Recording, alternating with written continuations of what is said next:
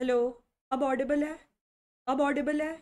Am I audible now okay guys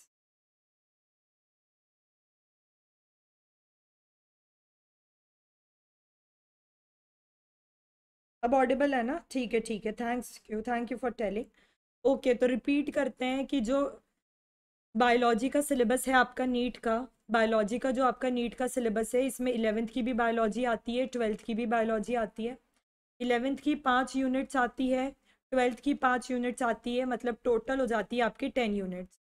हम दस दिन में we are going to complete ten units in ten days. ठीक है, टेन यूनिट्स कंप्लीट करेंगे टेन डेज़ में, और ये सीरीज़ हमारी आज से शुरू हो रही है। ये सीरीज़ हमारी आज से शुरू हो रही है। ठीक है तो बहुत बढ़िया बात है, अगर आप आज ही आ गए और आज से इस सीरीज़ को ज्वाइन करते हैं, दस दिन में दस यूनिट कंप्लीट करेंगे।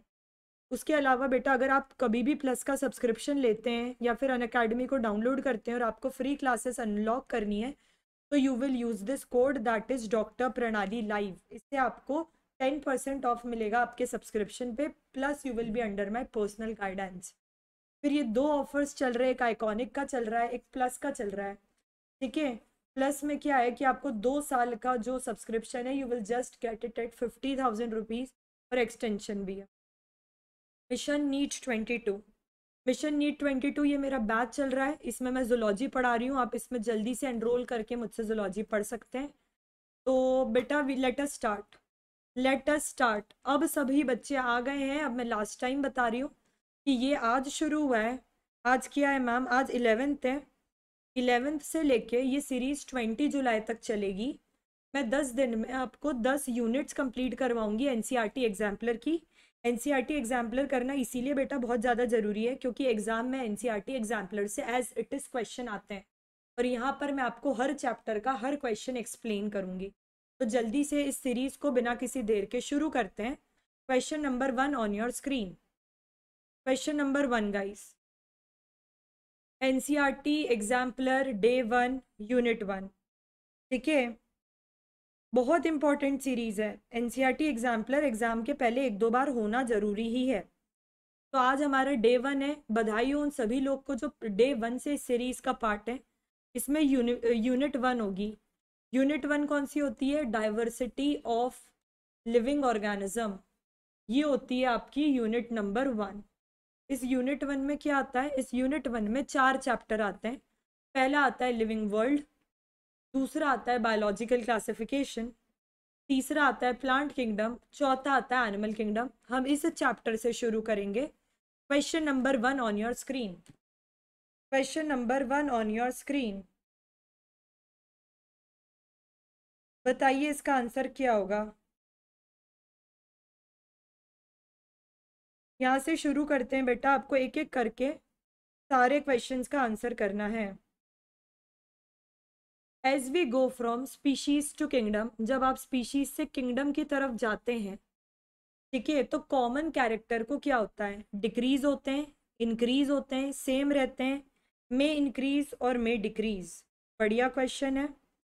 ठीक है तो जब आप नीचे से ऊपर जाते हैं तो क्या होता है?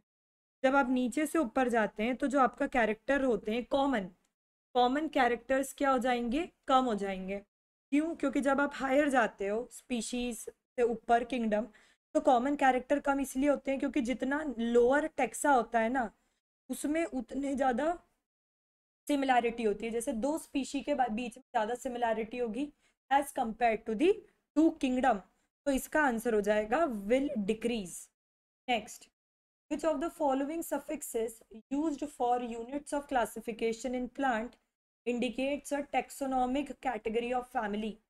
कौन सा suffix फैमिली इंडिकेट करता है। निकिता, अभी के लिए ओएमआर ख़त्म हो गया है।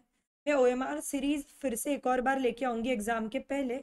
अभी N C R T exemplar complete करना बहुत ज़रूरी है और जो भी जिस बच्चे सही आंसर दे रहे हैं वेरी गुड सेकंड पे आ जाओ।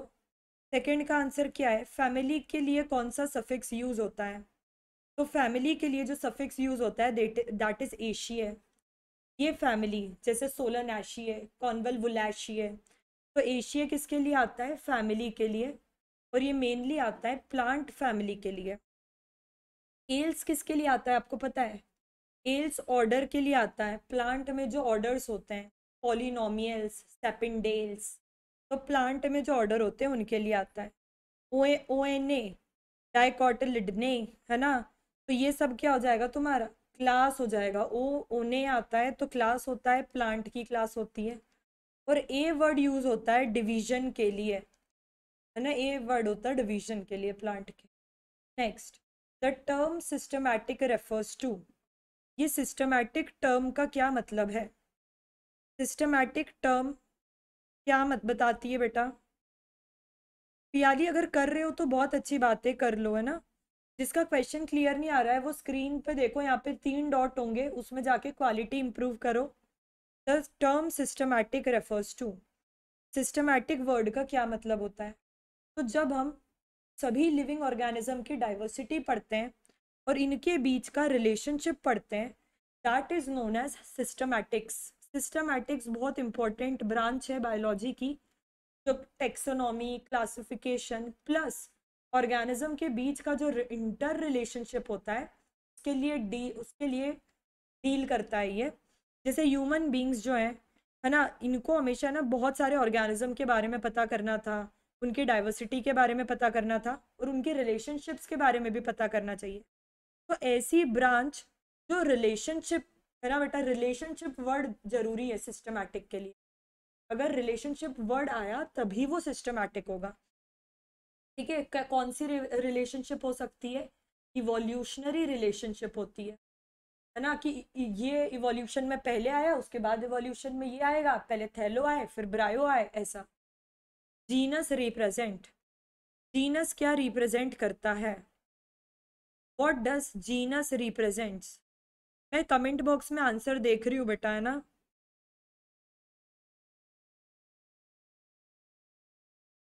कमेंट बॉक्स में आंसर दे रही हूँ, बढ़िया कर रहे हो। जीनस का आंसर कौन बताएगा? Very good genus is a group of closely related species of plant and animal जैसे फैमिली ऑर्डर जीनस और स्पीशी अगर तुम्हारी ये हयार की है फैमिली ऑर्डर जीनस और स्पीशी तो जो क्लोजली रिलेटेड स्पीशीज होंगी, वो किसके अंदर जाएँगी? जीनस के अंदर जाएँगी। ठीक है तो जीनस में क्या होती है? रिलेटेड स्पीशी होती है, जिनके ज़्यादा कॉमन कैरेक्टर हैं, वो सभी जीनस में जाएगी। जैसे अगर एक Panthera is the example of genus Panthera क्या है? जीनस है। तो पैंथरा लियो पैंथरा टिग्रिस और पैंथरा पार्डस ये तीनों स्पीशीज पैंथरा जीनस के अंदर आती है। चलिए, चले क्वेश्चन नंबर फोर हो गया fifth the taxonomic unit phylum is the classification of animal which is equivalent to which hierarchy level in the classification plant.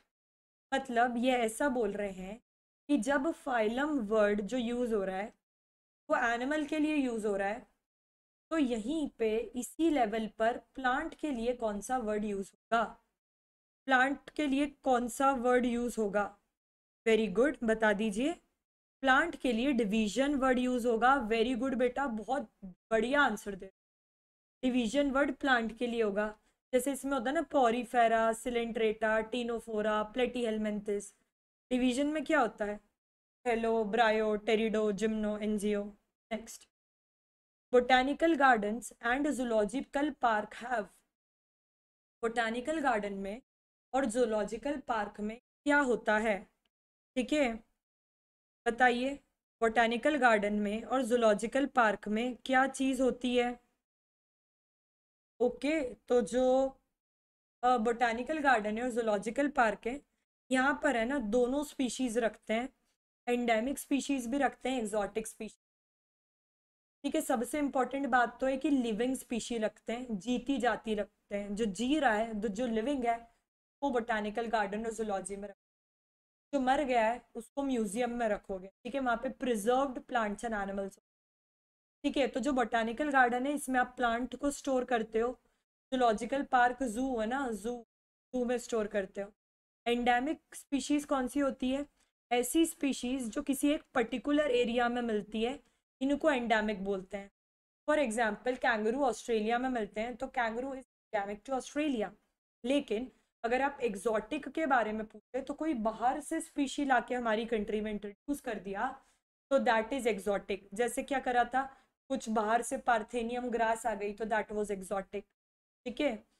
Taxonomic key is one of the taxonomic tool in the identification and classification of plant and animal it is use in preparation of तो की होती है ना? की क्या होती है? Taxonomical add होती है। आइडेंटिफिकेशन क्लासिफिकेशन इन सब में मदद करती है। इट इज़ टेक्सोनॉमिक एड्स तो ये किसके प्रिपरेशन में मदद करेगी? किसके प्रिपरेशन में मदद करेगी बेटा? बता दीजिए कमेंट बॉक्स में। वेरी गुड किसके प्रिपरेशन में करेगी? दोनों।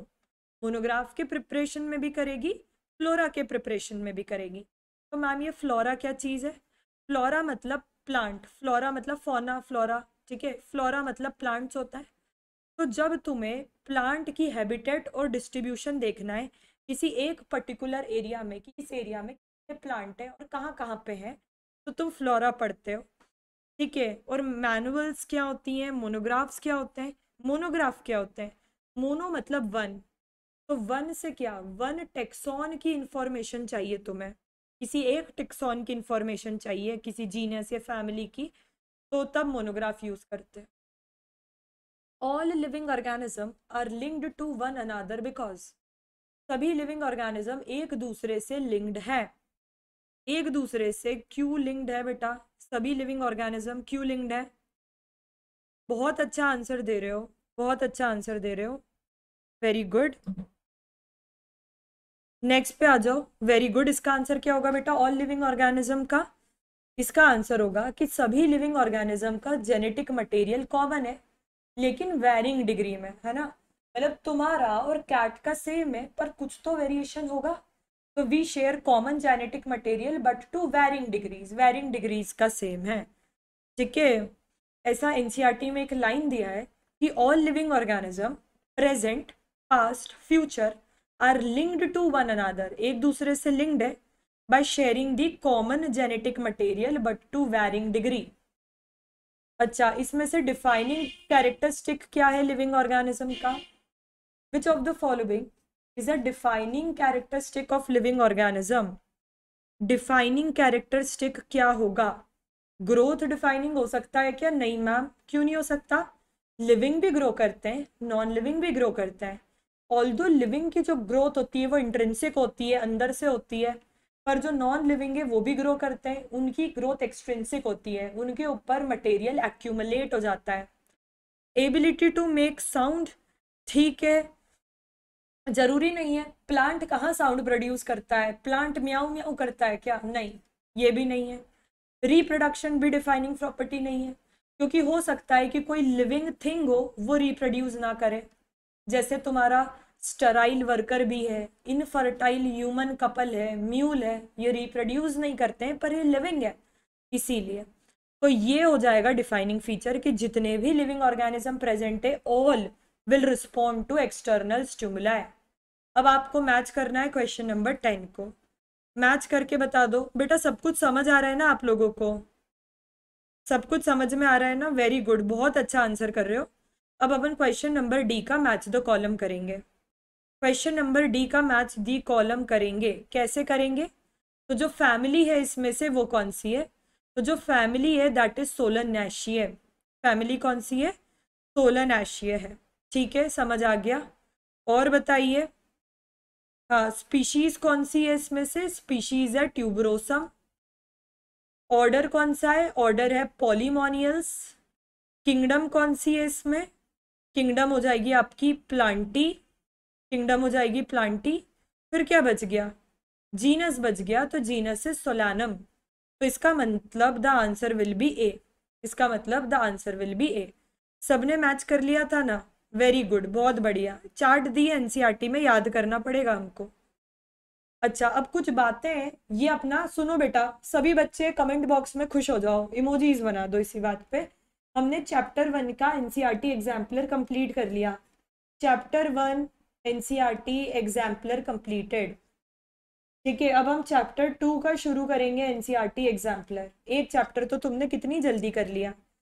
अब इसमें कुछ बातें हैं जो एग्जाम्पलर में दी है और मैं वो आपको हाईलाइट करके बताना चाहती हूँ। इसलिए मैंने एक स्लाइड बनाया तुम्हारे लिए कि जो लीनियस है फादर ऑफ़ टेक्सोनॉमी है, इन्होंने बायनोमियल नॉमन दिया था। इन्होंने एक बुक लिखी थी जिसका नाम था Systema Naturae to I C Z N क्या होता है? इसका फुल फॉर्म होता है international code of zoological nomen इसी के जगह अगर आई सी बी एन होता तो वो होता है international code for botanical nomen ये 1961 में आया था, ये 1964 में आया था.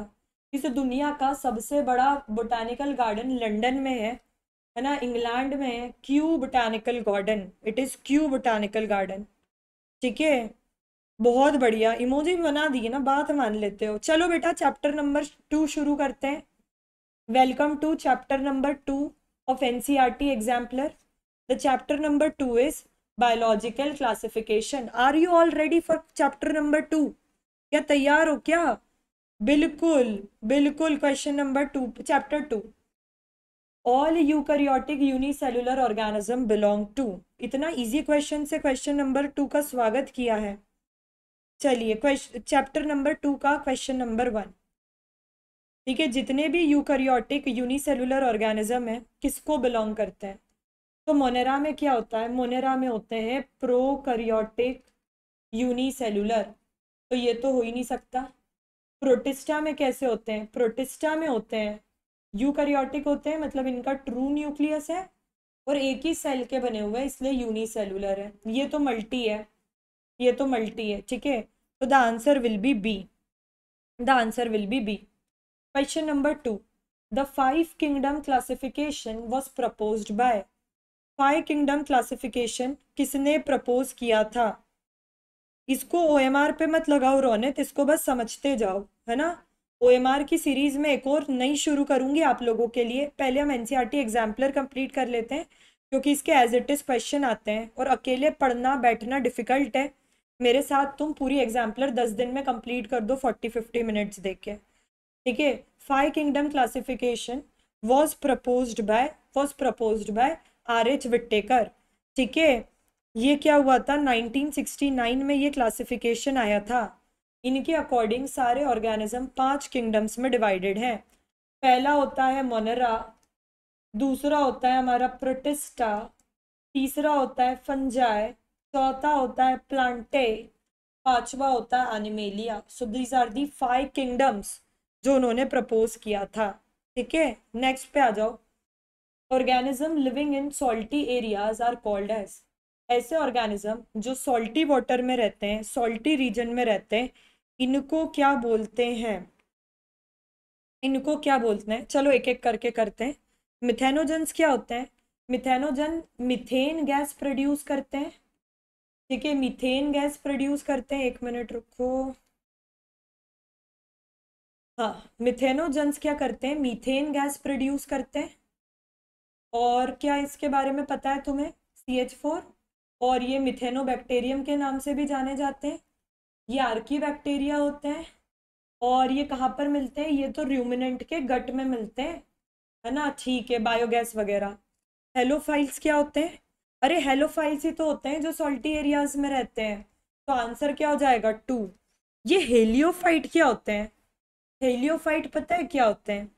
Sun loving plant sun loving plant होते हैं। ये इनको सूरज पसंद है। इन्हें सूरज से मोहब्बत है। थर्मो एसिडोफिल्स क्या होते हैं? जो हॉट स्प्रिंग्स में रहते हैं गरम गरम स्प्रिंग्स में रहते हैं, या डीप सी वाटर में, समुद्र की गहराइयों में रहते हैं ये। समझ आया क्या? Next naked cytoplasm multinucleated and saprophytic are the characteristic of किसका कैरेक्टरिस्टिक है? बेटा, ये है ना अपनी क्विज ये जो अभी सेशन चल रहा है, ये डेली रात को आठ बजे होगा। आज पूरी यूनिट वन हुई है एनसीईआरटी एग्जाम्पलर की। कल यूनिट टू होगी एनसीईआरटी एग्जाम्पलर की। अपनी दोस्तों को भी बता देना कि किसी का मिस नहीं हो जाए। है ना, बढ़िया सेशन है। अकेले करने जाओगे तो इतना एफिशिएंटली एक एक एक्सप्लेनेशन नहीं कर पाओगे। साथ में कर लोगे क्लास में तो याद हो जाएगा। The answer is slime moulds slime mould saprophytic होते हैं। सेप्रोफाइटिक मतलब डेड और डिकेइंग मैटर पे अपने न्यूट्रिशन के लिए डिपेंड रहते हैं। इनके पास पता है सेल वॉल भी नहीं होती है है ना? लेकिन इनके जो स्पोर्ट्स होते हैं, उसमें ट्रू वॉल होती है। इनकी बॉडी कैसी होती है? थेलॉइड होती है। मल्टी न्यूक्लियट होती है मतलब एक से ज़्यादा न्यूक्लियस प्रेजेंट है तब इस, ऐसी कंडीशन को प्लाज्मोडियम बोलते हैं, ठीक है? An association between the roots of higher plant and fungus very easy question ठीक है? हर कुछ कुछ, सब कुछ अच्छे से समझ में आ रहा है ना बेटा? एक भी गलत नहीं हो रहा ना तुम्हारा? मैं ट्राई कर रही हूँ कि सारे ऑप्शंस तुम्हें एक्सप्लेन करूँ और तुम्हारी एनसीईआरटी एग्जाम्पलर परफेक्टली कंप्लीट करवा दूँ, ठीक है? तो इसको बोलते हैं माइकोराइजा जब रूट होगी हायर प्लांट की और जब फंगस होगी तो इनके रिश्ते को माइकोराइजा बोलेंगे। It is a symbiotic relationship it is a mutualistic relationship दोनों की मदद होती है ना। हायर प्लांट को क्या मिलता है? न्यूट्रिएंट एब्जॉर्ब करने में आसानी होती है। फंगाई को रेडीमेड कार्बोहाइड्रेट मिलते हैं। तो दोनों स्पीशीज का फ़ायदा है तो दोनों में पॉजिटिव है। ऐसे को सिम्बायोटिक बोलते हैं। लाइकेंस क्या होते हैं? लाइकेंस एसोसिएशन होती है between algae and fungus algae और फंगस की होती है, ये रूट्स ऑफ़ हायर प्लांट और fungus a dikaryon is formed when dikaryon कब बनता है? एक डायकर एक डायकरियन कब बनेगा? डायकरियन कमेंट पढ़ रही हूँ बेटा, बहुत बढ़िया आंसर कर रहे हो। डायकरियन कब बनता है बच्चों? जब दो हैप्लॉइड सेल फ्यूज नहीं करते, देखो फंगस में क्या होता है, पूरी बात सुनो, जो हमारी फंगस है, इसमें क्या होगा? फंगस में क्या होगा कि ये दो हैप्लॉइड सेल फ्यूज करेंगे, ये भी हैप्लॉइड ये भी हैप्लॉइड ये फ्यूज करेंगे और एक सेल बना लेंगे, ठीक है? लेकिन इसमें अभी क्या होगा, ये सेल डिप्लॉइड में नहीं होगा मतलब ये सेल टू एन नहीं बनेगा, ये सेल एन प्लस एन बनेगा, अभी न्यूक्लियाई फ्यूज नहीं हुई है, ठीक है? तो एक्चुअल में किसमें बनता है ये? है ना, ये किसमें बनता है? जो एस्कोमाइसिटीज होती हैं और जो बेसिडियोमाइसिटीज तुम्हारी जो फंगस होती हैं, इनमें ये डायकरियन स्टेज बनता है। इस स्टेज को डायकरियन फ़ेज़ बोलते हैं। इसमें क्या रहता है? इसमें दो न्यूक्लियाई रहता है, two nuclei per cell. Di मतलब दो और करियन मतलब न्यूक्लियस। तो जब दो न्यूक्लियस होते हैं that is known as dikaryon phase और डायकरियो फ़ेज़ बोलते हैं, ठीक है? Next contagium vivum fluidum was proposed by contagium vivum fluidum किसने पढ़ा था? किसने पढ़ा था? मतलब किसने दिया था? पढ़ते तो हम लोग हैं। दिया कौन था? ठीक है। कॉन्टेजियम वाइवम फ्लूडम तो इसमें तो साइंटिस्ट का नाम ही याद करना है। तो डीजे इवानोवस्की ठीक है। ये क्या थे? डीजे इवानोवस्की ने तो क्या डिस्कवर किया था? टीएमवी वाला डिस्कवर किया था। सबका बताती हूँ मैं आपको। डीजे इवानोवस्की ने 1892 में डिस्कवर करा था तो टबैको मोजैक वायरस कौन सा है ना? टबैको मोजैक वायरस जो डिसीज कॉज कर रहा है। एम डब्ल्यू बिजरनिक ने 1898 में बताया था कि अगर तुम इस, क्या बोलते हैं, इस टबैको मोजैक का फ्लूड ले लो और हेल्दी प्लांट में डाल दो तो उसको भी डिसीज हो जाएगी। तो इसको कॉन्टेजियम वाइवम फ्लूडम बोला। कॉन्टेजियम वाइवम फ्लूडम इसको बोला। It is the infectious living fluid infectious living fluid है ना? इतना इन्फेक्शियस है कि इन्फेक्शन को उठा के हेल्दी में डालोगे तो हेल्दी में भी इन्फेक्शन हो जाएगा। इन्होंने क्या करा? स्टेनले ने। स्टेनले अब एक्चुअल में ना, जो स्टेनले थे, इन्होंने 1935 में क्रिस्टलाइजेशन करा वायरस का। क्रिस्टलाइजेशन करा। और रॉबर्ट हुक ने क्या करा? हमारे हुक साहब सेल डिस्कवर किया पहला, पर ये सेल लिविंग सेल नहीं था। It was a dead cork cell समझ आया क्या? Next association between mycobiont and phycobiont are found in ठीक है? Association between mycobiont and phycobiont are found in बताओ। हाँ तो माइकोबायोंट और फाइकोबायोंट में एसोसिएशन कहाँ मिलता है? It is found in the lichen lichen में क्या रहती है? एलगी रहती है। ये फ़ूड प्रिपेयर करती है प्लांट का काम करती है तो इट इज़ फाइकोबायोंट लाइकन में और क्या रहता है? फंगस रहता है। फंगस क्या करता है?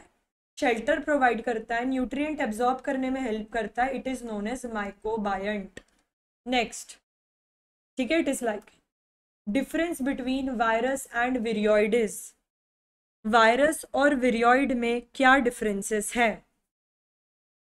क्या डिफरेंस होगा बेटा? ध्यान से पोल लगाना नाइन्थ का।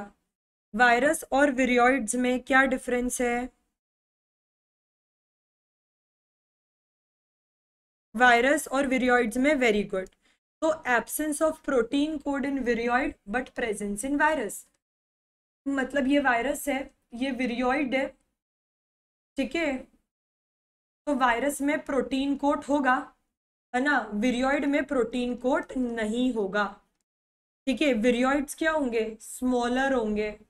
वायरस क्या होंगे? बिगर होंगे या फिर लार्जर होंगे। ठीक है?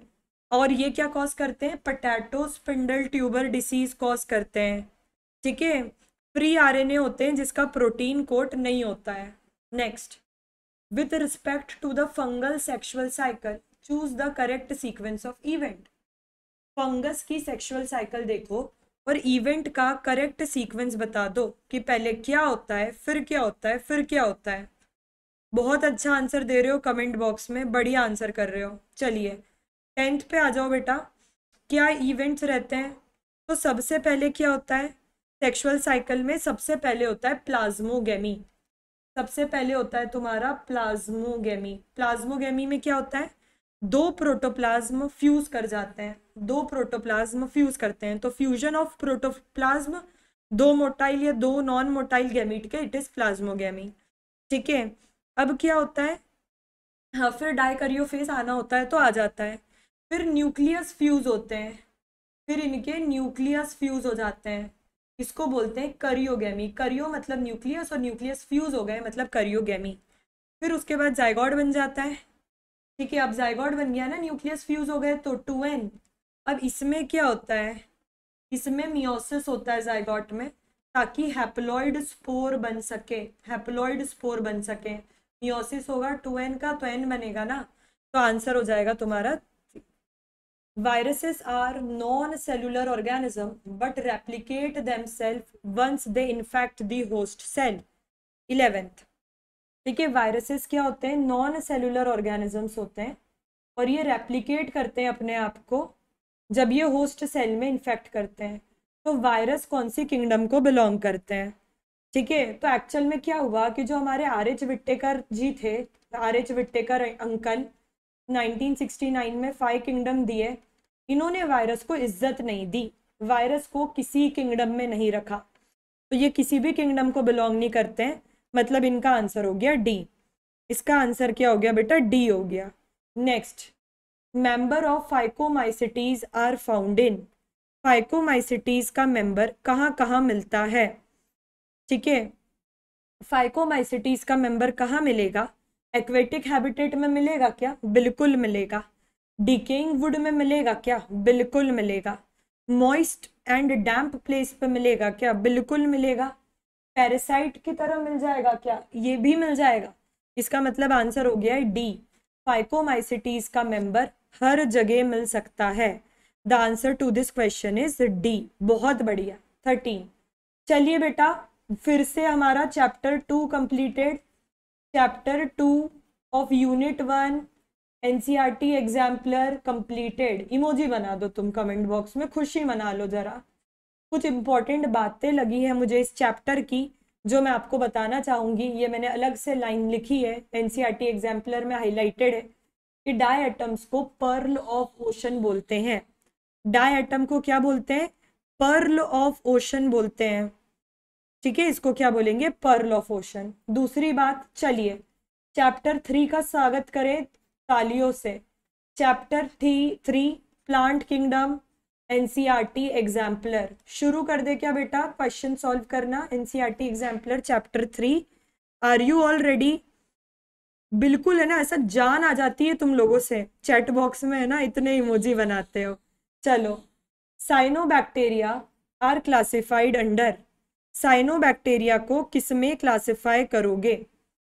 प्रोटिस्ट में करोगे क्या? बताओ साइनो बैक्टीरिया को किसमें करोगे? नहीं मैम नहीं करेंगे। प्लांटी में करोगे क्या? नहीं, प्लांट भी नहीं है, एल्गी में करोगे क्या? नहीं, मोनेरा में करोगे। साइनो बैक्टीरिया को ही हम ब्लू ग्रीन एल्गी बोलते हैं। साइनो बैक्टीरिया को ही हम ब्लू ग्रीन एल्गी बोलते हैं। ठीक है? और इसको हम किंगडम मोनेरा में रखते हैं। ये फोटोसिंथेसिस भी करता है। ठीक है? और इसको क्यों रखा मोनेरा में? जब ये फोटोसिंथेसिस करता था तो मैम प्लांट में रख देते ना। इतना बुरा क्यों करा? Because it is unicellular prokaryote और यूनिसेलुलर प्रोकरियोट्स को यही रखते हैं। Fusion of two motile gamete ये दो मोटाइल गैमीट है, इनका फ्यूजन कर, लेकिन डिसिमिलर इन साइज़ है, रुको, अलग डायग्राम बनाना पड़ेगा ना फिर। Fusion of two motile gamete which are dissimilar in size ये दो मोटाइल गैमीट है है ना, जो साइज़ में एक बड़ा है, एक छोटा है, इस प्रोसेस को क्या बोलते हैं? तो इस प्रोसेस को हम एन आइसोगैमी बोलते हैं। जब दो मोटाइल गैमीट्स होते हैं, इनकी साइजेस अलग अलग होती है तो it is known as anisogamy aniso मतलब सेम साइज़ नहीं है। Third holdfast stipe and frond constitute the plant body in case of ये किसमें बनता है बेटा? बहुत अच्छा आंसर आ रहा है कमेंट बॉक्स में। कंटिन्यू करते जाओ। ठीक है? आप लोगों को दस दिन में एनसीईआरटी एग्जाम्पलर कंप्लीट करनी है, मेरे साथ करनी है। मैं डेली रात को आठ बजे आपको एनसीईआरटी एग्जाम्पलर की एक एक यूनिट करवाऊँगी। कसमें खा लो आज सभी लोग कमेंट बॉक्स में। ये डेली करेंगे हम। ठीक है तो this is seen in phaeophyceae जो फियोफाइसी की प्लांट बॉडी है, ये क्या करती है? सबस्ट्रेटम ये जो ग्राउंड है ना सबस्ट्रेटम इससे जुड़ी होती है with the help of a holdfast ठीक है? इसमें ना एक स्टॉक होती है और लीफ लाइक फोटोसिंथेटिक ऑर्गन होता है दैट इज़ फ्रॉन्ड तो होल्ड फास्ट क्या होगा? इससे सबस्ट्रेटम से अटैच होगी। स्टाइप क्या होता है? एक स्टॉक होती है स्टॉक जैसी स्ट्रक्चर और ये होती है फ्रॉन्ड फ्रॉन्ड मतलब leaf like photosynthetic organ a plant shows thallus level of organisation एक प्लांट क्या शो करता है बेटा जी? Thallus level of organisation show करता है। इसके पास राइजॉइड है। और ये हैप्लॉइड है। इसको अपनी लाइफ साइकिल कंप्लीट करने के लिए पानी भी चाहिए, क्योंकि मेल गैमीट हमारे मोटाइल है। ये किसको बिलोंग करेगा? बता दीजिए।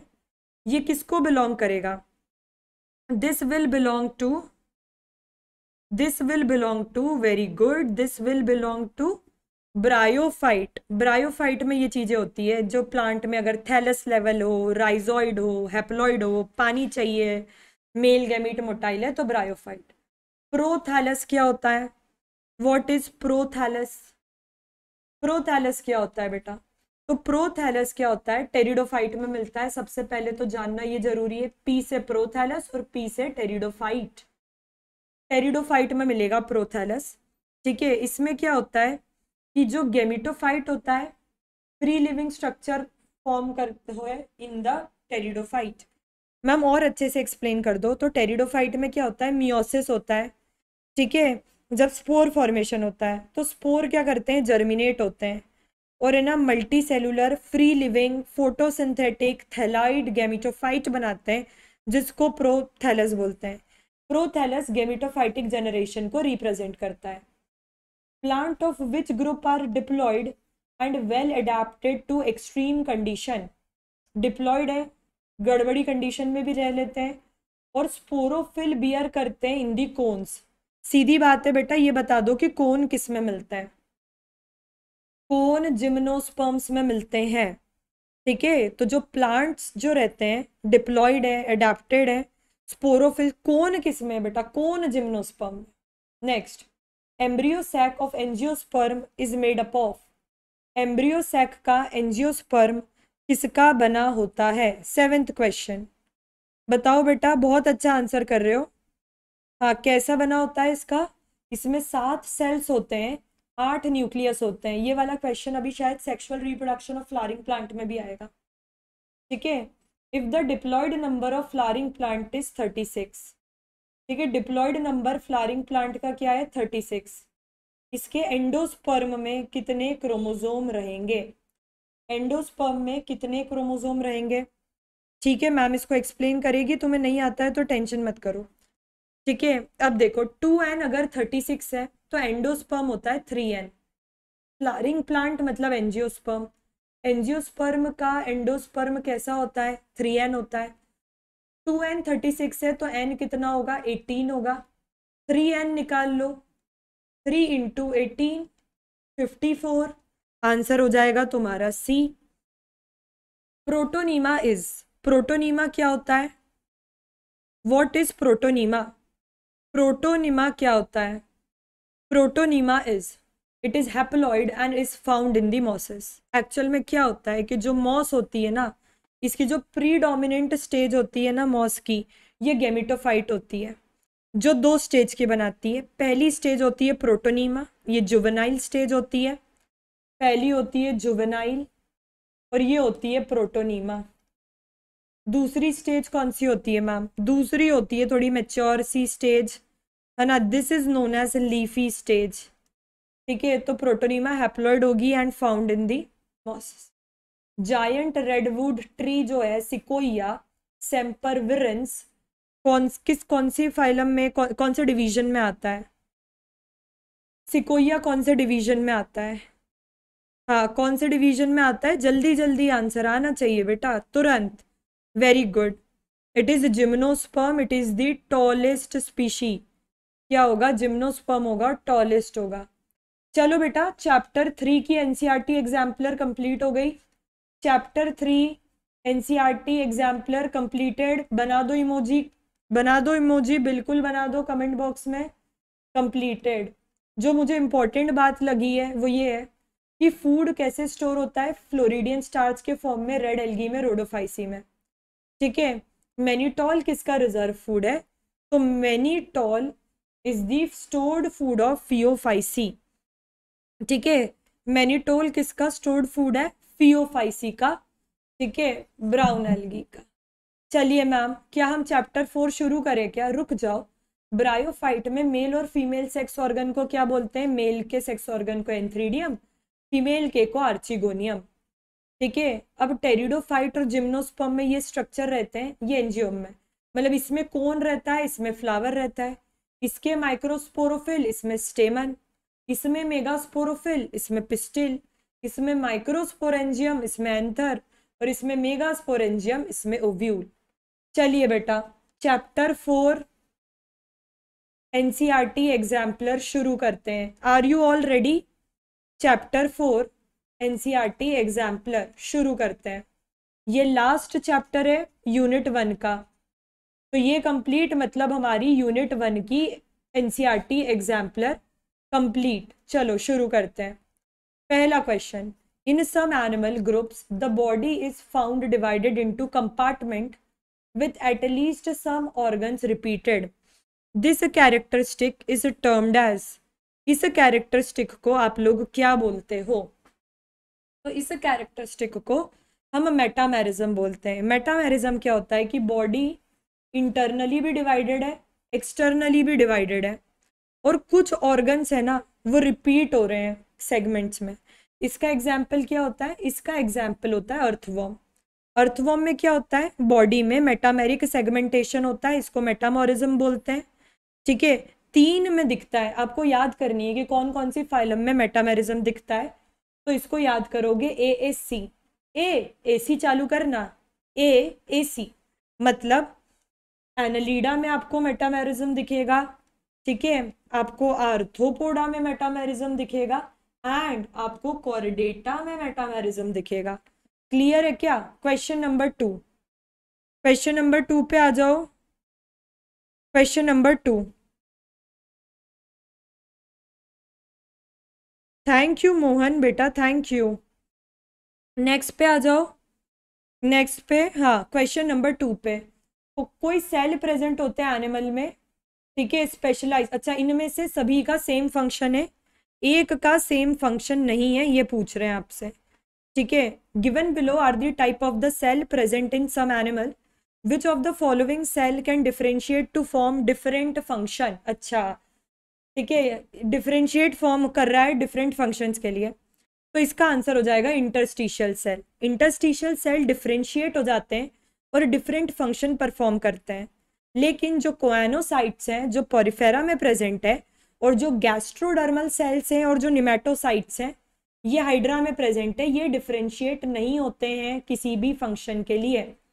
तो इनमें से सिर्फ़ इंटरस्टिशियल सेल ही ऐसा होता है जो डिफ्रेंशिएट करता है और दूसरे फ़ंक्शंस करता है। नेक्स्ट क्वेश्चन नंबर थ्री कौन सा सेट ऑफ़ एनिमल में चार चेम्बर्ड हार्ट है?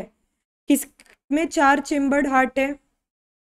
चार चेम्बर्ड हार्ट क्या है? बताओ। चार चेम्बर्ड हार्ट किसमें होगा? Very good so the answer is B crocodile में उसके सभी आसपास के उसके रिश्तेदारों में कितना होता है? है ना रेप्टाइल वेप्टाइल में तो तीन चेम्बर होता है, पर क्रोकोडाइल एक्सेप्शन है। इसका दिल बड़ा है, चार चेम्बर का है। बर्ड्स एव्स में चार चेम्बर मेमल्स में चार चेम्बर मैम ये तो हम याद ही नहीं कर पाते हैं। ट्रिक सुनो। मैम की क्लास अटेंड करके हमको परम आनंद की प्राप्ति हुई। परम, ठीक है? P for Pisces A for Amphibia R for reptile A for Aves and M for mammal ठीक है? Two three three four four मतलब पाइसिस में दो चेम्बर्ड हार्ट एम्फीबिया रेप्टाइल में थ्री चेम्बर्ड हार्ट एव्स और मेमल में चार. Aves मतलब होता है मेरे बच्चों बर्ड्स और पाइसिस मेरे बच्चों होता है मतलब फिशेस ठीक है? Next which of the following pair of animal has no glandular skin किसमें ग्लैंड्यूलर स्किन प्रेजेंट नहीं है? किसमें ग्लैंड्यूलर स्किन प्रेजेंट नहीं है, बता दो जरा जल्दी से। किसकी स्किन में ग्लैंड्स नहीं है? ठीक है तो एक्चुअल में टर्टल है ना? रॉबिन की स्किन में ग्लैंड नहीं है, ठीक है, याद रखना। कैमिलियन और टर्टल ये क्या होते हैं? नॉन ग्लैंडुलर स्किन वाले हैं। इनमें हो सकती है फ्रॉग में होगी पिजन में बर्ड में स्किन ग्लैंड होती है, जो ऑयल ग्लैंड होती है, जो ल्यूब्रिकेशन करती है। टायल, टाइगर में सिबेशियस ग्लैंड होंगी इसमें नहीं होंगी। क्वेश्चन नंबर फिफ्थ फिफ्थ पे आ जाओ। मेरे बच्चों क्वेश्चन नंबर फिफ्थ पे आ जाओ। हाँ फिफ्थ क्या बोल रहा है? फिफ्थ ये बोल रहा है कि जो बर्ड और मैमल्स हैं अच्छा इनमें से बर्ड में भी है मैमल में भी है। कौन सा कैरेक्टर बर्ड में भी होगा मैमल में भी होगा? ठीक है? तो आप लोगों को बताना है। तो बर्ड में कहाँ ही पिगमेंटेड स्किन होगी?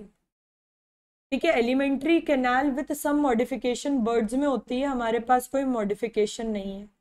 वीवी पैरिटी बर्ड ओवी पैरस होता है बर्ड अंडे ले करता है ओवी पैरस है ना? और वीवी पैरस होते हैं हम। ह्यूमन इज़ मैमल इज़ यू वी वी पैरस मैमल थोड़ी अंडे देता है। अब तुम ऐसी बातें करोगे, मैम, क्या बात कर रहे हो? डक बाइल्ड प्लेटिपस और निथोरिंकस ये तो एग दे रहा था। तो it is an exception we don't count exception over here वो एक ऐसा मैमल है जो एग ले करता है तो it is exceptional mostly mammals तो यंग वंस को बर्थ देते हैं वी वी पैरस होते हैं. तो दोनों में सिमिलैरिटी क्या हो गई? दोनों में सिमिलैरिटी हो गई कि दोनों वार्म ब्लडेड हैं. गर्म खून है. What is the meaning of warm blooded warm blooded का मतलब ये होता है कि इनका एम्बियंट इन्वायरमेंट इनके आसपास के इन्वायरमेंट से इनका टेम्परेचर चेंज नहीं होता. जैसे देखो, गर्मी में तुम्हारा टेम्परेचर डॉक्टर को दिखाओगे थर्मोमीटर पे, उतना ही आएगा। ठंड में दिखाओगे तो भी उतना ही आएगा। तो टेम्परेचर इन्वायरमेंट के हिसाब से चेंज नहीं कर रहा है, एक कॉन्स्टेंट टेम्परेचर मेंटेन कर रहा है that is the warm blooded अच्छा सिंगल टेक्सोनॉमिक ग्रुप को बिलोंग करते हैं। इनमें से कौन से? सिंगल टेक्सोनॉमिक ग्रुप को बिलोंग करते हैं। बताओ। ठीक है? हाँ बताओ बताओ।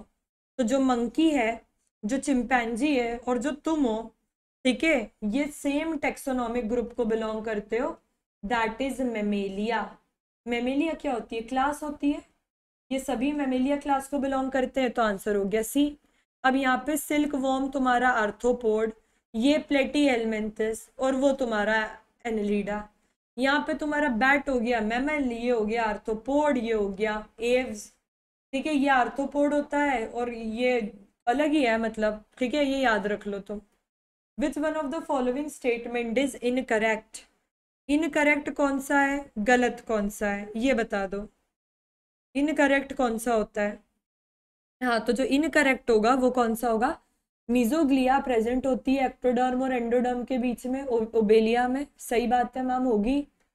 Radial symmetry is found in asterias बिल्कुल होगी। फे, फेसियोला सूडोसिलोमेटिक है नहीं। Fasciola is platyhelminthes it is acoelomate इसमें सिलोमेट विल बी एबसेंट तो मैम ये सूडोसिलोमेट कौन होते हैं? जो एस्केलिमेंथिस होते हैं, जो राउंड वॉर्म होते हैं दे आर सुडोसलोमेट ठीक है? टीनिया ट्रिप्लोब्लास्टिक होता है.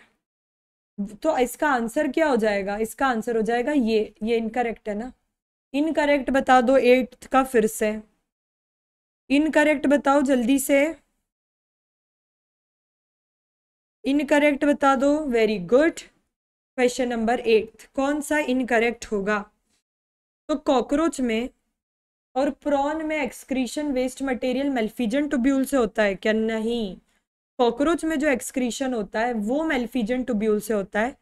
पर जो प्रॉन में एक्सक्रीशन होता है, वो ग्रीन ग्लैंड से होता है या फिर एंटीनल ग्लैंड से होता है. तो प्रॉन का ऐसे होगा, ना कि मेल्फिजन टोब्यूल। बाकी सारे सही है कि टीनोफोर्स लोकोमोशन के लिए एट सीलिएटेड कोम्प्लेट होती है। फेसियोला हिपैटिका में एक्सक्रीशन के लिए फ्लेम सेल होते हैं। Earthworm and hermaphrodite are yet cross fertilization takes place सही, क्योंकि हर सेम टाइप पे दोनों रिप्रोडक्टिव ऑर्गन डेवलप नहीं हो पाते तो क्रॉस फर्टिलाइजेशन करना पड़ता है। ओवी पैरस कौन सा है इसमें से? विच इज़ ओवी पैरस इसमें से एग ले कौन करेगा? विच इज़ ओवी पैरस मेरे बच्चों? हाँ। तो बैट जो है फ्लाइंग फॉक्स बैट ये तो मैमल है, ये तो नहीं करेगा। एलिफेंट अंडा ले करता है क्या? नहीं बेबी प्रोड्यूस करता है। ये भी वीवी पैरस है। वेल भी बेबी को बर्थ देती है। इसका मतलब प्लेटिपस ओवी पैरस है। प्लेटिपस ओवी पैरस है। प्लेटिपस होता है प्रोटोथेरियन है ना? तीन टाइप के अपने मैमल को हमने तीन में डिवाइड करा है। एक होता है प्रोटोथेरियन एक होता है मेटाथेरियन एक होता है यूथेरियन तो प्रोटोथेरियन एगले करते हैं। ठीक है? ये रेप्टाइल्स से इवॉल्व हुए ना? ठीक है? तो ये प्रोटोथेरियन ओवी पैरस या फिर एग लेइंग मैमल होगा। ठीक है? इसको ornithorhynchus duck duck billed platypus बोलते हैं। इसका मुँह है ना? डक की चोच की तरह होता है। ठीक है इसका साइंटिफिक नेम होता है ऑर्निथोरिंकस समझे क्या? Which of the following is not a poisonous snake कौन सा स्नेक पॉइजनस नहीं है? कौन सा स्नेक नहीं है पॉइजनस बता दीजिए बेटा जी। ठीक है? तो इसका आंसर क्या हो जाएगा? इसका आंसर हो जाएगा python it is not a poisonous python पता है क्या होता है? अजगर। अजगर है नॉन पॉइजनस है। फिर मैम पॉइजनस कौन कौन से होते हैं? ये बता दो, आज तो आप हम याद ही कर लेते हैं। जहरीले सांप कौन से होते हैं? ठीक है तो जहरीले कौन कौन से होते हैं? एक होता है नाजा नाजा। नाजा नाजा मतलब तुम्हारा कोबरा। कोबरा देखा है? खतरनाक ही दिखता है पॉइजनस तो होगा ही। फिर होता है क्रेट ये भी तुम्हारा पॉइजनस है। और एक होता है सी स्नेक सी स्नेक पता है क्या होता है? हाइड्रोफिस करके होता है। ठीक है? नेक्स्ट पे आ जाओ। मैच करना है आप लोगों को। मैच करना है कॉलम्स को। ठीक है, बस ख़त्म ही होने वाला है बेटा। मैच कर दो कॉलम को, फिर मज़ा आएगा। तो जो ऑर्गन लेवल होता है ना organ level of body organization किसमें दिखता है? ऑर्गन लेवल फेसियोला हिपेटिका में दिखता है। टेप वॉम है ये। सॉरी टेप फॉर्म नहीं है तो लिवर फ्लूक है। लिवर फ्लूक है। और ये प्लेटी एलमेंथिस है। प्लेटी एलमेंथिस में क्या होता है बेटा? प्लेटी एलमेंथिस में organ level of body organization होता है। Cellular aggregate level cellular aggregate level तुम्हारा स्पॉन्जिला में होगा। जो पोरीफेरा होते हैं, जो स्पॉन्जिला होते हैं, जो स्पॉन्जेस होते हैं, इनमें सेलुलर एग्रीगेट है। टिश्यू लेवल किसमें होता है? टिश्यू लेवल मैम सिलेंट्रेट्स में और टीनोफोर में होता है। तो इसका एग्ज़ाम्पल है तुम्हारा ओबेलिया है ना? सिलेंट्रेट्स में आ रहा है ये। Organ system level organ system level किसमें होगा? अर्थवॉर्म में हो जाएगा ना फेरेटीमा आंसर सी हो जाएगा.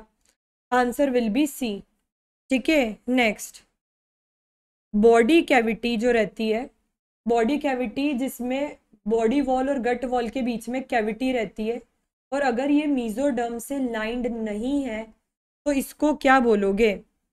मीजोडर्म से लाइंड नहीं होगी तो इसे क्या बोलोगे? बताओ, जल्दी जल्दी बताओ, ख़त्म करते हैं हम जल्दी से। हाँ तो जब बॉडी वॉल और गट वॉल के बीच में कैविटी होगी और ये मीजोडर्म से लाइन नहीं होगी, तब हम इसे क्या बोलेंगे? Very good. तब हम इसे बोलेंगे सूडोसिलोमेट सूडोसिलोमेट ठीक है? Very good. Next, acoelomate का क्या मतलब होता है मैम? ए सिलोमेट मतलब बॉडी कैविटी एबसेंट है। जैसे पोरीफेरा हो गया, सिलेंट्रेट्स हो गए, टीनोफोर्स हो गए platyhelminthes body cavity absent. Pseudocoelomate बता दिया कि कैविटी है तो सही, पर मीजोडर्म से लाइन नहीं है। सिलोमेट क्या? बॉडी कैविटी है और मीजोडर्म से लाइन भी है। तो सूडोसिलोमेट का तो एग्ज़ाम्पल एस्केलीमेंथिस हो जाता है और Annelida Arthropoda Mollusca, Echinodermata, Hemichordata, कॉडेटा ये सब सिलोमेट हो जाते हैं। मैम, ये शाइजोसिलोम क्या होता है? ये एंटेरोसिलोम क्या होता है? तो जो सिलोम मीजोडम से बनी है, वो शाइजोसिलोम होती है और जो एंटरॉन एम्ब्रियोनिक गट से बनी है, वो एंटेरोसिलोम होती है। मैच करना है फिर से, कर लेंगे हम। ठीक है पोरीफेरा में क्या होता है? पोरीफेरा में वाटर कैनाल सिस्टम होता है। पोरीफेरा में क्या होगा? ट्रांसपोर्ट के लिए वाटर कैनाल सिस्टम होगा। एस्केलीमेंथिस में क्या होता है? एस्केलीमेंथिस में मस्क्यूलर फेरिंग्स होता है। मस्क्यूलर फेरिंग्स होता है। एनालीडा में क्या होता है? एनालीडा में तुम्हें मेटामेरिज्म मिलेगा। मेटामेरिक सेगमेंटेशन मिलेगा। आर्थोपोड में क्या मिलेगा? जॉइंट अपेंडेजेस मिलेंगे। और इकाइनोडर्मेटा में क्या मिलेगा? वाटर वेस्कुलर सिस्टम मिलेगा। तो थर्टीन का आंसर हमारा सी हो जाएगा। थर्टीन का आंसर सी हो जाएगा। चलिए बेटा चैप्टर फोर भी हम लोगों ने कंप्लीट कर दिया। Chapter four completed NCERT exemplar ma'am इसका मतलब पहले यूनिट में तो चार चैप्टर थे, चारों चैप्टर कंप्लीट होगा इसका मतलब क्या? इसका मतलब यूनिट वन कंप्लीटेड आज की क्लास में हमने यूनिट वन कंप्लीट करा और हमने एक एक ऑप्शन को ध्यान से पढ़ा। एक एक ऑप्शन को ध्यान से पढ़ा। तो we have completed unit four कल आठ बजे आप लोगों को फिर आना है।